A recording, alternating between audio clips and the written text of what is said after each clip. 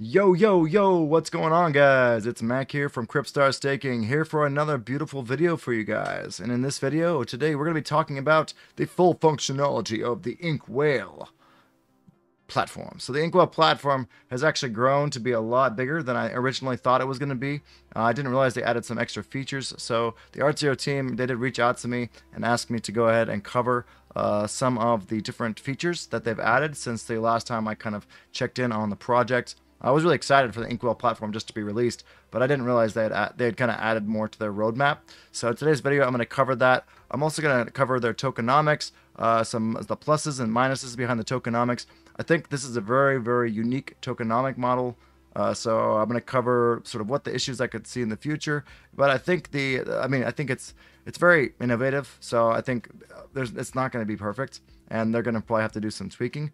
But uh, I, th- I, feel like they're open and, and transparent enough to go ahead and you know fix issues as they come along. So we'll, we'll cover that in the video today, and I'll talk to you guys about uh, my my investment strategy, what I feel like the better the better deal would be if you're going to buy the different uh, the 10 million Inkwhale tokens that are available at the fixed price, or you're going to dip into the 90 million Inkwhale tokens that are available at the lower price, but you're going to have to do a 18 month vesting period. And I think for different people, different uh, the different sales will be uh, will will have different sort of outcomes and different goals as well. So different people have different goals, and I think those goals will align with either one or the other.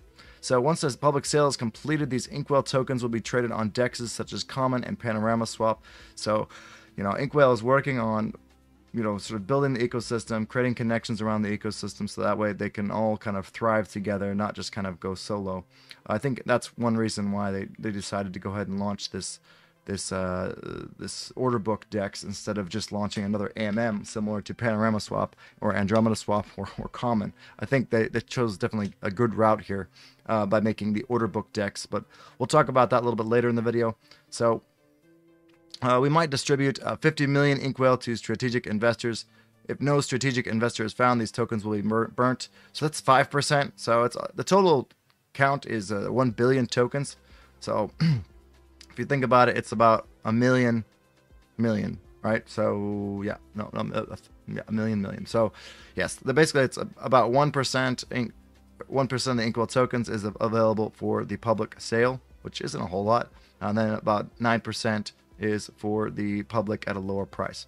So it's actually quite a limited amount that's available for public, uh, and there's a lot more allocated towards the staking. You can see down here, 60% is allocated towards the reward pool, which will be used for you know staking your your your Inkwhale token or for different things on the Art ArtZero NFT marketplace and other projects, other partner projects within the Aleph Zero ecosystem. So some of these examples of usage are limited are, are are but are not limited to creating staking pools to reward NFT token stakers, reward traders on the Inkwhale order book dex, reward traders on ArtZero NFT marketplaces, and their estimated for time to distribute all of these rewards is about 10 years. So they have a pretty long, uh, I guess you could call it, uh, timeline that they're planning to go ahead and keep this dex running. And I'm sure that they can come out with some sort of other uh, tokenomics if we end up exceeding the 10 years, which obviously Bitcoin hasn't even exceeded, well, just exceeded the 10 years. So I'm not, I have no idea how where it's going to go. Uh, honestly, I think so far they've made really great products, and I am going to go ahead and now talk about what I think the 90 million, who would buy the direct tokens and who would buy the the vesting tokens. So for the vesting tokens here, the public sale with vesting, which is about 88 million left, that seems to be relatively popular, about one tenth the amount as popular as the public sale with no vesting. But if you wanted to be one of the first to go ahead and create a token on this platform, which is one reason I did it, because I know that this list is going to get long, and I'm willing to bet they're going to go ahead, oops, and I'm willing to bet they're going to go ahead and uh, sort of order the list, probably either by name or by date created. So if you're earlier in the blockchain, you're earlier in the blocks, then you're probably going to be higher on the list and you can be say, hey, I'm the first. But also, the public sale without vesting, it means that if we do get an immediate pump of the Inkwhale token because of the lack of supply, you're able to sell it much earlier. And with the 18th month, with the 18 month rule, it's going to be a bit harder to go ahead and you're going to have to sell over time. So for me, I think the public sale with the vesting is more for those of you guys who want to use the decks and you want to trade on the decks. And also, if you believe in the product long term, um, if you want to make a quick buck, you go with the public sale, no vesting. And if you think it's going to pump earlier or not, then you get this one, and then you're much, I guess, maybe much more mm, short term, I guess. Yeah, well, probably this one. Or if you want to use some of these larger features earlier, it's going to be really hard to get you know enough Inkwhale tokens by doing the public sale uh, with the vesting to get enough tokens, like 10,000 tokens to create a token for this would be like, you know, you need 5% of two, what like 200,000 or something, right? So, yeah, because you get you get 5,000 from 100,000. So yeah, you need about 200,000 Inkwhale tokens to get enough to make a token from here. So there's different use cases, but I just stated what what I think each one would be for each type of sale. Uh, this one also is very limited quantity, so if it, once it's gone, it's gone. So sorry, the public sale with no vesting. It's only 9 million left. So it already has 10% sold. So you can see it's actually very, very popular. This one seems like it's a little bit more popular, but in terms of percentage wise, they're mm, kind of close. All right, guys, let's go ahead and jump into the next part. Uh, I talked about how to acquire Inkwhale just now, so I'm going to skip over that. For the token staking pool, let's go ahead and take a look at that. Like I mentioned, they have two features. Uh, they have two different pools here. So they have token pools and then NFT pools. Here we got token pools. The Inkwhale token is the only one right now for the token pool. We're going to make a Petecoin token pool probably here soon. Uh, maybe in the next day or so after we do the airdrop. Like I mentioned, we're doing an airdrop, so if you want to join, we're going to be doing it. Uh, probably giving handing out the winners. Well, basically anybody who goes ahead and puts your address in, I'm going to send some tokens to. So it's it's just mostly meant as a meme coin, something fun because we all know Pete is a great guy. So let's go ahead and uh, you know support the Pete coin. And uh, well, I'm trying to figure out a way how I can do airdrops to all Aleph Zero stakers so that everybody can have a piece of Pete. You know what I'm saying? So yeah, then we can go and take a look at the NFT pools.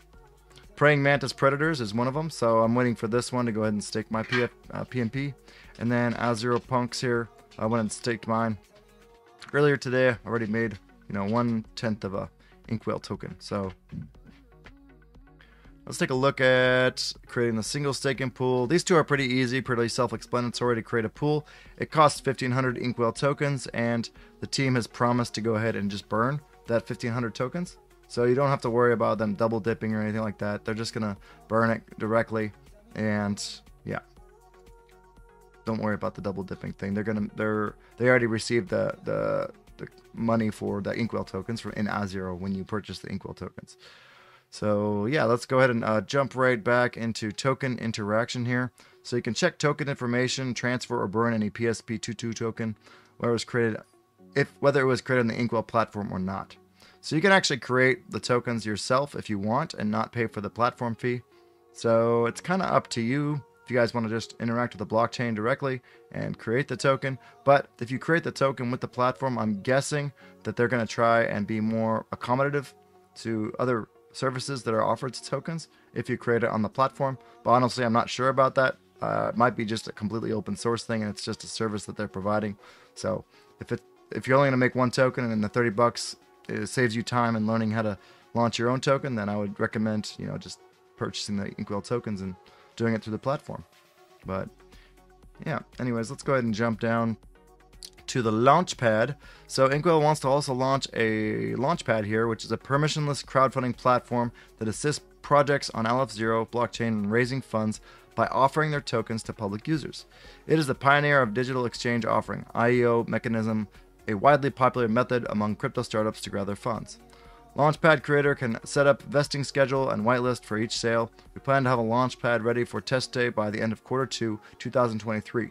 So it sounds like the public test is coming for this very soon. They have a lot in the pipeline actually for the Inkwhale token. And I believe the Inkwhale token is going to be used to pay the fees to go ahead and launch on this launchpad. So this is another burning mechanism that's offered by the Inkwhale platform for the Inkwhale token. So this is also very, very bullish for me for the Inkwhale platform. That's why I think the short-term $10 million is actually going to run out, uh, sorry, 10 million Inkwhale tokens.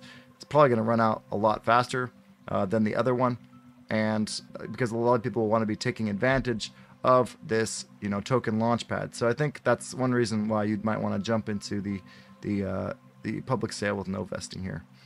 Uh, that's what's one reason a lot of people will want to do that because you have a lot more liquidity to go ahead and make a profit off of the different startups that are trying to launch using this launchpad.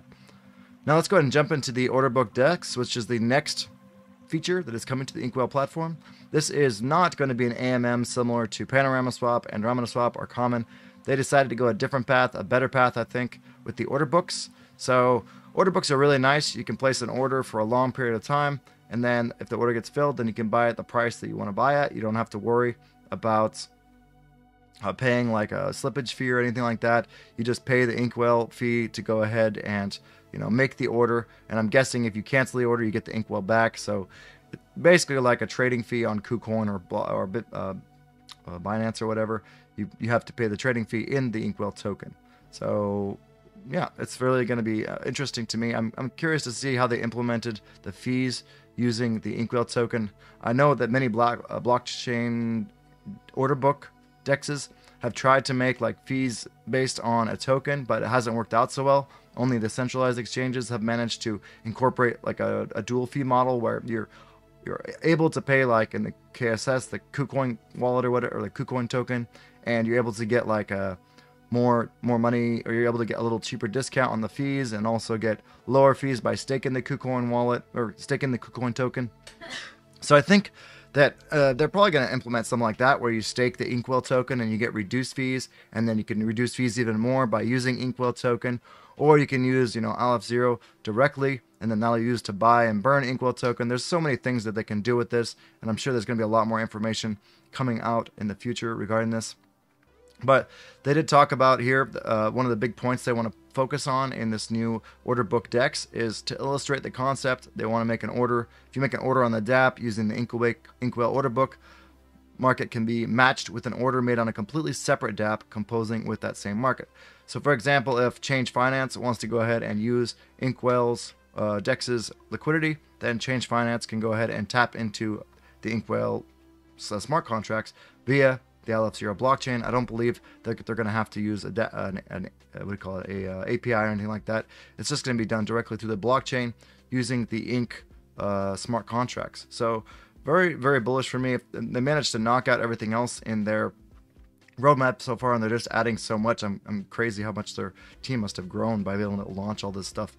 But I mean, with Aleph Zero using Rust, it's much easier for I think developers to develop things really fast. So, all right, so let me go ahead and show you guys now how to go ahead and add uh, Inkwhale to your sub wallet, as well as you can add add any other token from the Inkwhale platform or to your sub wallet, uh, any token on Aleph Zero. So you can basically copy this token ID here, and right here I'll copy the uh, Inkwhale. Sorry, this is for Inkwhale token. Let's go ahead and copy the Pete Twink token right here.